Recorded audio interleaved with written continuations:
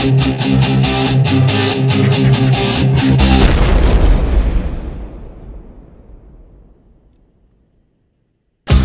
this is Michelle Waterson getting ready. We're gonna, um, we are leaving for her fight in, is it North or South Dakota? North Dakota. In North Dakota. She's doing a little photo shoot because she's got abs from steel now. Oh, for once her, in my life. With her 105. So I'm gonna try and do a little video blog of cornering Michelle and her fight. Oh, here's Coach. Coach, come by and say something nice about Michelle. Something nice about Michelle. so anyway, yeah. All right, there she is. Karate high.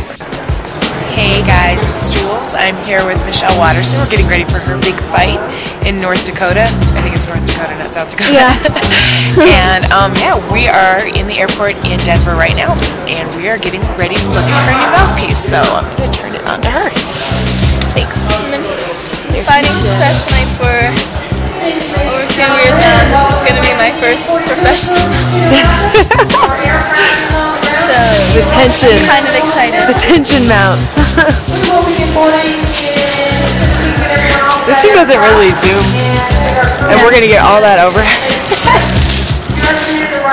Ooh.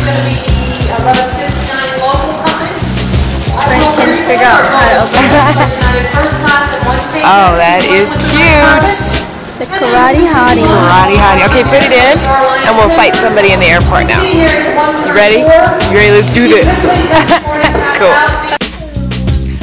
We're checking her weight right now. It says she's 110. It's the night 110.8. It's the night before weigh-ins. Yeah. So we've got about five pounds to cut.